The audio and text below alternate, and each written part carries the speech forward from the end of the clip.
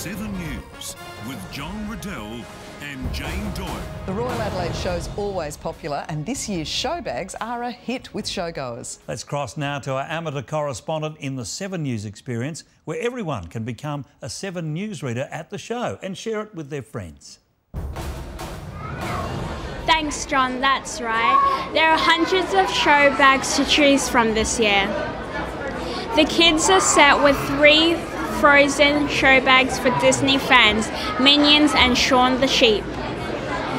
There are show bags for all ages, from food to fun, magic to Minecraft, lollies to Liverpool, Liverpool FC.